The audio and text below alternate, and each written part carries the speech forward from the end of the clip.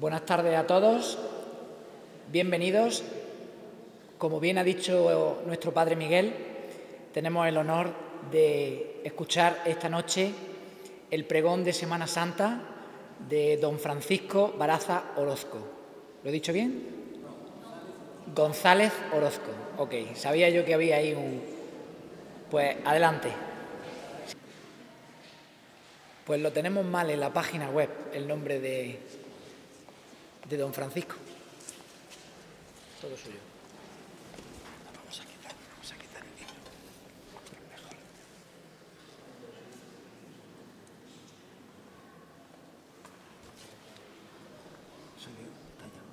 Vamos a ver si Buenas tardes a todos. Reverendo párroco don Miguel, estimados mayordomos y hermanos de las distintas hermandades, queridos turreros y presentes todos. Es la primera vez que este humilde turrero se encuentra y participa en un acto como este. Y desde aquí os garantizo que ser el pregonero de la Semana Santa de nuestro pueblo y dirigirse a todos vosotros, emocionalmente no tiene parangón con ninguna otra situación que podamos vivir. Es por tanto para mí un gran honor estar aquí para iniciar algo que todos llevamos muy dentro de nosotros como es nuestra Semana Santa. No solo es un gran honor, sino que también supone, como os decía, sobreponerse a emociones y sentimientos difíciles de controlar que en algún momento puedan cortar mi voz. Así que tendréis que disculparme si no logro aplicarla como es debido. Doy gracias a mis padres porque gracias a ellos estoy aquí y le pido a la Virgen de los Dolores que me infunda ánimo y fuerza para controlar esos sentimientos y transmitiros como Dios manda lo que mi corazón siente en este momento. He descorrido cerraduras de mi memoria para devolverme a mi pueblo y a un tiempo pasado que es mío, un tiempo que me llama con escenas que están dentro del ovillo de los recuerdos. Os pido de todo corazón que me acompañéis en esos recuerdos. Esta iglesia en la que estamos, la iglesia de la Purísima Concepción, estandarte de turre en cualquier foto, postal o referencia que se haga en cualquier lugar de nuestro pueblo, no es solo el monumento que todos llevamos grabados en nuestra mente, no esta iglesia es el lugar que nos ha acogido desde que nacimos y fuimos bautizados. Esta iglesia nos hizo comulgar con el cuerpo de Cristo en aquella tan lejana primera comunión y nos recibió en sus brazos como, como una madre. La madre que nos recibe siempre ante cualquier acontecimiento de nuestra vida cristiana y más ahora cuando queremos celebrar la Semana Santa viviendo y recordando la pasión de nuestro Señor. La Semana Santa de Turre. La Semana Santa de Turre es algo especial. Es algo muy distinto a lo que vemos en cualquier otro lugar, porque nuestra Semana Santa es un sentir profundo en cada uno de nosotros, un sentir en algo que va más allá de lo que podemos contemplar estos días en televisión o en cualquier otro medio de comunicación. Nuestras novenas, nuestras saetas, nuestras procesiones tienen algo de mágico, algo de mágico porque tanto en la persona mayor, en el joven o en el niño, aquí o fuera de aquí, no hay un solo turrero que en su pensamiento no estén presentes todos y cada uno de los actos que aquí se conmemoran. Desde este lugar y mirándoos a cada uno de vosotros, observo en cada rostro que la emoción y esos recuerdos a los que os pido que me acompañéis están presentes, están presentes en vuestros corazones. Es imposible para un turrero que en un día como hoy no estar en su iglesia y más esperando las novenas de la Virgen de los Dolores y esperando su bendición. Aquí o fuera de aquí, da igual, porque os aseguro que son muchos los que en este instante estén allá donde se encuentren, nos acompañan y esperan, igual que lo hacemos todos nosotros, la bendición de nuestra Virgen. Ay, la bendición de la Virgen de los Dolores. Han sido muchos los años que he contemplado y he recibido esa bendición y os tengo que decir desde mi apreciación personal que en cada uno de esos años en los que tuve la dicha de estar aquí, observé algo muy, pero que muy especial desde aquí. El respeto, el silencio y la devoción con que cada persona acoge la bendición de la Virgen. Observé que los críos miran a la imagen de la Virgen con ojos desorbitados y sin perder un detalle. Cuando ha habido algún bebé en brazos de su madre, ha dejado de llorar. Muchas lágrimas han inundado muchos ojos. Y de verdad, hasta los perros en la calle, en el momento de la bendición, dejaban de ladrar. En cuántos y cuántos lugares, allí donde se encuentre un turrero, una familia turrera, ese momento es, como os digo, algo mágico y emocionante. Recuerdo, seguidme acompañando con los recuerdos, recuerdo que por estas fechas mi abuelo ya nos había puesto a todos en jaque, buscando flores, limpiando jarrones con arenilla del río y limón, repintando el trono, purpurina que él mismo hacía para los dorados, barniz para el resto del trono, viendo cuántas tulipas habían quedado del año anterior, buscando velas, organizando las horquillas de los tronos y preparar la imagen de la Virgen. Preparar la imagen de la Virgen para ponerla en su trono suponía uno de los momentos especiales para él. Nadie, absolutamente nadie, excepto tres personas, podían estar presentes para ayudarle. Llegaba hasta cerrar la puerta de la iglesia porque nadie, repito, ni el sacerdote de turno podía ver cómo se vestía la imagen de la Virgen. Eran otros tiempos. También nosotros, los chiquillos, preparábamos nuestras Semanas Santas, tronos hechos con caña, con maderas, santos hechos de barro que vestíamos con los trozos de tela que nos daban en las, en las sastrerías. Recuerdos, muchos recuerdos. Teniendo siete u ocho años, también recuerdo que nuestros mayores presumían de nosotros porque nos habían enseñado las palabras de Jesús en la cruz y nosotros las recitábamos en ese hermoso Via Crucis que rodea la iglesia. Ya a partir del domingo de Ramos, nuestros juegos pasaban a un segundo término. Los santos habían estado en capilla y el silencio y el respeto en esos días santos lo inundaba todo. Hasta las campanas dejaban de tocar, dando paso a las carracas y al martillo para avisar de los actos litúrgicos que se celebraban. ¿A cuántas y cuántas personas podríamos nombrar por sus quehaceres e inquietudes en los preparativos de las hermandades? Las pujas de los brazos de los tronos, donde había un cable bajo o un balcón que estorbara el paso de las procesiones, de los tronos, la revisión de las calles para ver dónde había un charco o una losa que se movía, el itinerario que iban a seguir las procesiones, cuántas y cuántas personas.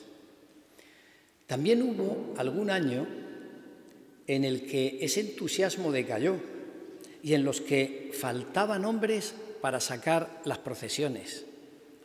Fue entonces cuando las mujeres y mocicas de nuestro pueblo nos dieron, nos dieron, yo no era tan, tan mayor, dieron un ejemplo a los más veteranos, cargando ellas con los tronos y, y sacándolos para que nuestras procesiones tuvieran lugar. Recuerdos, recuerdos, pero muchas, muchas vivencias. ¿Qué decir de nuestro jueves y viernes santo? Nuestro jueves y viernes santo son días que merecen un recuerdo especial. El recogimiento y el respeto de esos días de verdad que es digno de resaltar, porque se vivía en primera persona el misterio que se celebra. Jesús va a ser entregado y a ser crucificado, pero al final va a triunfar en su resurrección. Esos días recuerdo que hasta en el bar de mi padre, Diego Baraza, ni siquiera se jugaban las partidas de cartas y de dominó que todos los días se hacían. Eran otros tiempos. Aquel jueves santo comenzaba la liturgia con el lavatorio de los pies, pero muy importante, antes recuerdo que había horas y horas de confesiones que, se que celebraban los sacerdotes antes de comenzar la Santa Misa, para así poder recibir bajo las especies del pan y del vino el cuerpo de Cristo. El traslado de Jesús sacramentado bajo el palio, acompañado del cantemos al amor de los amores, era el preámbulo de aquella noche de vigilia y oración del jueves santo ante el Santísimo. Eran muchas, muchísimas las personas que aquella noche del jueves santo, ante la contemplación del Santísimo en el monumento, elevaban sus oraciones y sus cánticos con la satisfacción de saberse acompañadas en una paz sencilla, en una oración compartida y en una alegría que se desbordaría después en el momento de la resurrección. ¿Y qué decir de las procesiones del Viernes Santo? ¿Qué día de ajetreos, de idas y venidas a la iglesia para el retoque especial de los tronos? En la plaza, el descanso para la Virgen, mientras Jesús con la cruz en el inicio de la calle de la estación se encuentra por primera vez con su madre Muchas veces he estado bajo el peso del trono en esos momentos y os puedo asegurar de todo corazón que éramos muchos los que no nos atrevíamos a mirar hacia arriba y contemplar el dolor y la emoción de ese instante, ese instante reflejado en las dos imágenes que se miran. Muchas eran las lágrimas que se tragaban o que corrían por las mejillas de tantos y tantos turreros que han cargado los tronos ese día. Y las saetas, las saetas turreras, no vienen tonadas la inmensa mayoría de las veces por las voces del cantor, pero sí bellas y emocionantes por las letras, la mayor de las veces improvisadas, pero que estaban cantadas con el corazón que es de donde realmente sale la, saeta turrera. Recordaréis algunos la procesión del entierro de Cristo en las noches del Viernes Santo. Era aquella procesión la manifestación de un dolor y un respeto muy difícil de explicar. Cuántos y cuántos descansos había a lo largo del recorrido que hacían que esa procesión durase cuatro, cinco, no sé cuántas horas. Pero eran horas llenas de un silencio y de un recogimiento absolutos. Nadie dejaba de hacer el recorrido completo de la procesión. Todo el que salía de la iglesia a ella regresaba con el sentimiento y la satisfacción de haber realizado el acto procesional con el mayor respeto y sacrificio. Cuando se cerraba aquella procesión, se daba tiempo, fuese la hora que fuese, para que los chiquillos se marchasen a acostar, dado que había que iniciar la procesión del silencio. Únicamente los mayores tomaban parte en, aquella, en, ese acompañar a la Virgen de los Dolores en su soledad. Y solo el rezo del rosario era lo que rompía el silencio de aquella madrugada. El rezo de aquel rosario nos llevaba misterio a misterio a aquella, en aquella procesión sin notar el dolor de tanto peso que aquellos hombros habían cargado a lo largo del día. Recuerdo que hubo un año en el que el Viernes Santo y el Domingo de Resurrección pusimos megafonía para explicar el significado de las caídas de San Juan, los encuentros de la Virgen con Jesús y muy especialmente el momento del encuentro con el resucitado.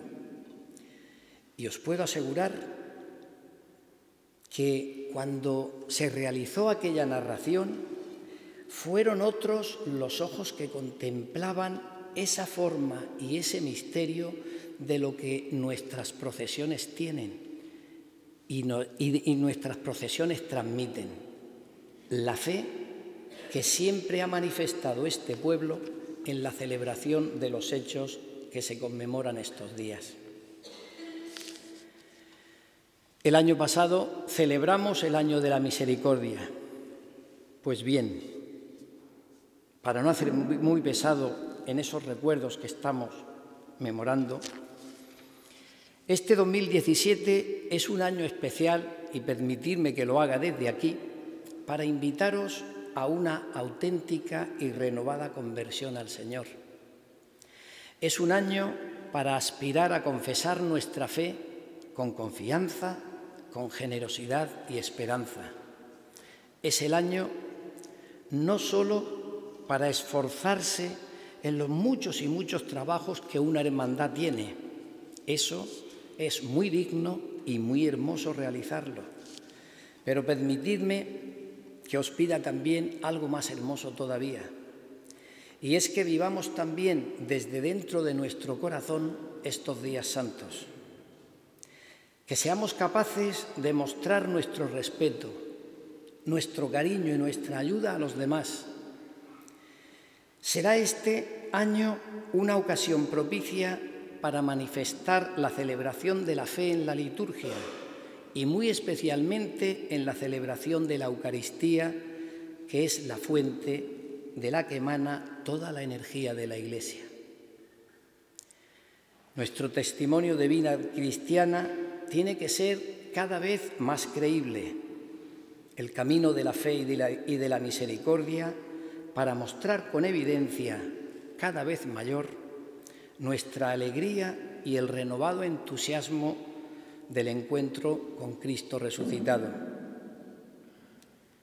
Porque os digo que la historia de la cruz es una historia de amor auténtico, de amor gratuito y sin límites, de donación y de entrega total pues que esta Semana Santa nos sirva a todos para renovar y aumentar nuestra fe, que nuestra acogida a la cruz, que nuestra mirada y nuestro beso al crucificado nos ponga siempre mirando hacia los que cerca o lejos de nosotros sufren.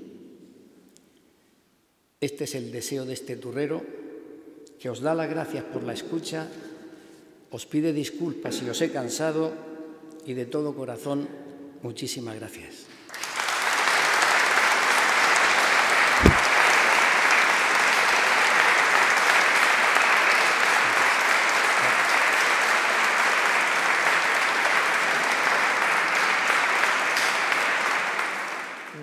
Nos llegan de tal forma y tal descripción que lo estamos viviendo. Es verdad que, como bien ha dicho el Padre Miguel, Hoy es un día un poco solemne por, las circunstancias, pero la Semana Santa comienza así y acaba con una fiesta, que es la resurrección.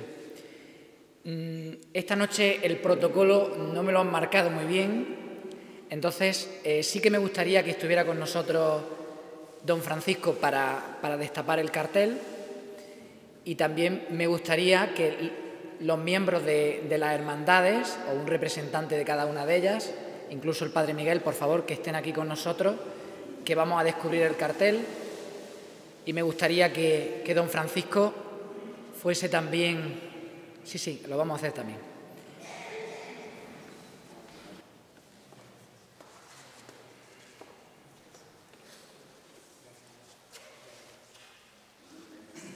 Mm, sí. Para leerlo aquí. Un detalle, un detalle bien hermoso. Dice, la parroquia de la Purísima Concepción la agrupación de cofradías y el ayuntamiento de Turre, a mi persona, como pregonero del sexto pregón parroquial de la Semana Santa de Turre del año del Señor de 2017. Agradecidos, pedimos a Dios le bendiga siempre a usted y a toda su familia. Muy bonito en Turre. Muchas gracias. Muchas gracias.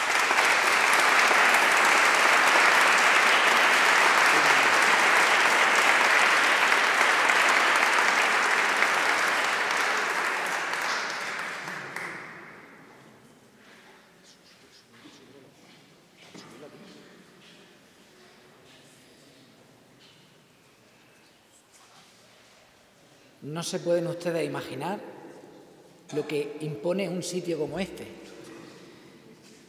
Dirán, con lo acostumbrado que está, pues no. Aquí este es el altar del Señor y cuesta un poco de trabajo. Bueno, pues creo que este el 14 o, por ahí que año que, que hacemos, desarrollamos el cartel de la Semana Santa de Turre mucho hemos dicho ya al respecto de todos los años, lo habéis ido viendo, algunos habrán gustado más, otros habrán gustado menos, pero este año le toca a nuestra Virgen de los Dolores y es el cartel anunciador que empezó todo con una simbología. El cartel este año mm, se podría decir que no nos ha dado mucho trabajo, tanto en mi caso como mi fotógrafo, Frank, que si no fuera por él muchas cosas no se pueden hacer o todas. Pero el cartel mm, que van a ver y que vamos a descubrir, ya eh, desde el año pasado la Hermandad de la Virgen de los Dolores ya sabía cuál iba a ser el cartel. De hecho, todos saben de la Hermandad cuál es el cartel porque lo han elegido ellos.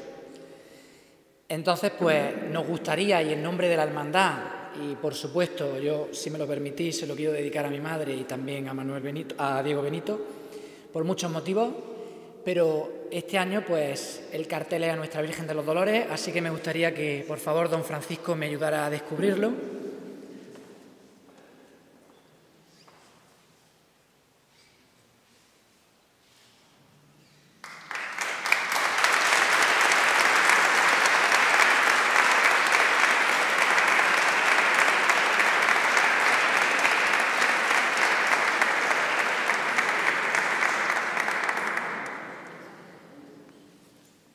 Y bueno, vamos a hacernos una foto con él. Eh, creo que ha traído Martín algunos programas de mano de la Semana Santa.